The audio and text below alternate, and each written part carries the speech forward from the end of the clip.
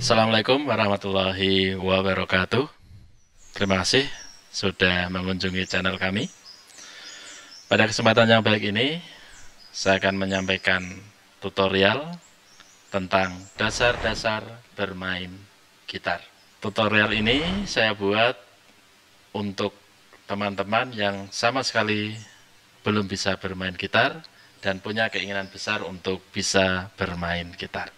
Oke, langsung saja. Sebelum teman-teman bermain gitar, ada baiknya kita harus mengenal bagian-bagian gitar dulu. Ini adalah gitar yang berjenis gitar klasik. Saya anjurkan kepada teman-teman dalam awal bermain gitar untuk menggunakan gitar ini. Kelebihannya adalah gitar ini menggunakan senar nilon, jadi senar nilon itu lebih empuk kalau ditekan. Jadi eh, mengurangi risiko tangan kiri itu luka atau bosan.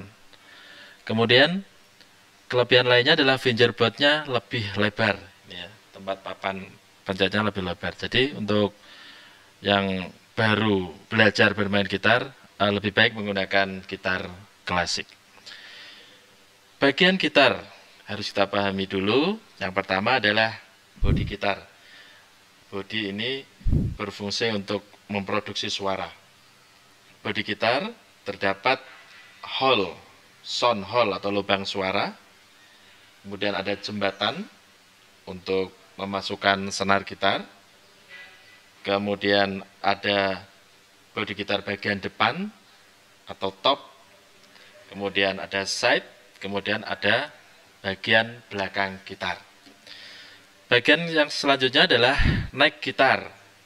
Neck gitar ini terdiri dari fingerboard, yaitu papan di mana kita menekan senar gitar. Kemudian ada fret. Fret ini ada besinya, jadi ruang di antara besi ini adalah fret. Untuk gitar klasik terdiri dari 12 fret.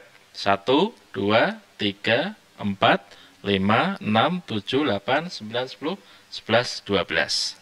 Dan bagian yang terakhir adalah head atau kepala gitar. Ini ada tuning. Ya tuning ini fungsinya adalah untuk mengencangkan atau mengendurkan senar sehingga sesuai dengan nada yang kita harapkan. Oke, kita langsung saja setelah kalian memahami bagian-bagian gitar, saya akan memberikan tentang teknik bermain gitar untuk tangan kanan.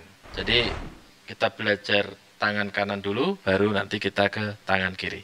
Untuk tangan kanan, Teknik yang pertama yang harus kalian kuasai adalah teknik petik sandar atau apoyando. Jadi petik sandar itu seperti ini, seperti orang berjalan. Ini ya. Petikkan senar, kemudian sandarkan senar di atasnya. Gantian menggunakan jari telunjuk dan jari tengah.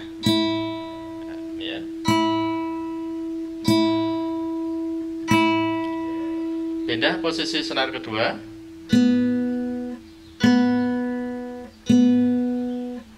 Senar ketiga.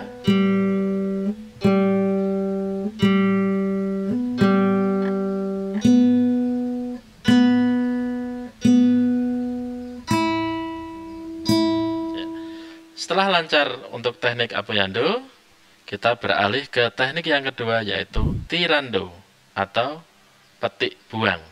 Kita menggunakan jari telunjuk, tengah, dan manis secara bersamaan. Kita mulai dari jempol dulu pada senar nomor 6. Dan senar nomor 3 menggunakan jari telunjuk. Senar nomor 2 menggunakan jari tengah. Senar nomor 1 menggunakan jari manis. Urut.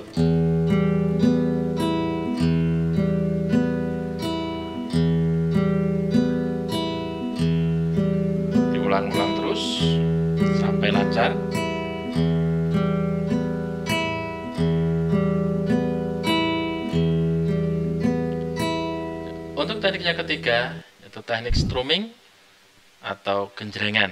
Ini jenisnya banyak sekali. Saya akan sampaikan satu dulu yaitu model strumming seperti ini. Yang tiga senar bawah dibunyikan bersama-sama. Bass. Kemudian tiga senar di bawah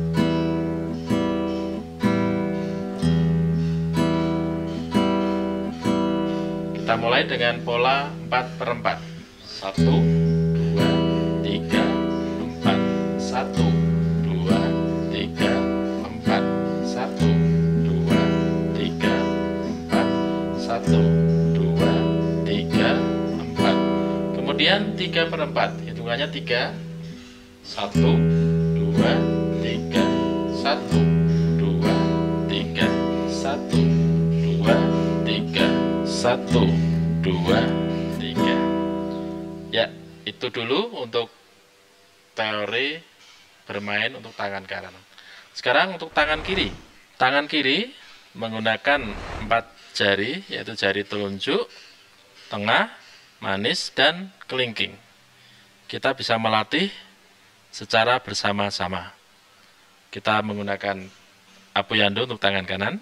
Kita tekan di fret pertama. Fret kedua. Fret ketiga. Fret keempat. Kemudian digeser. Empat-empat sekaligus.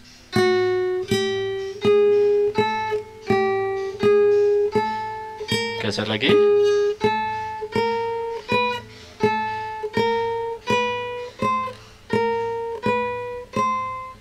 Sampai fret nomor 12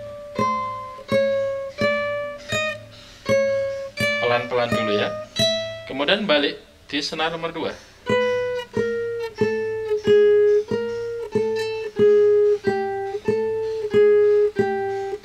nadanya semakin mundur. Ya sampai di sini. Silakan dilatih berulang-ulang karena di tangan kanan kalau sudah lancar tiga teknik tadi dan tangan kiri sudah bisa membunyikan suara dengan jelas maka teman-teman bisa melanjutkan ke berikutnya yaitu tentang akor atau teknik membunyikan tiga buah nada atau lebih untuk teknik akor akan saya sampaikan di pertemuan berikutnya yaitu di dasar-dasar bermain akord.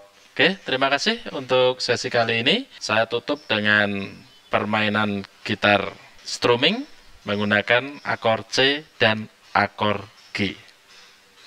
Terima kasih.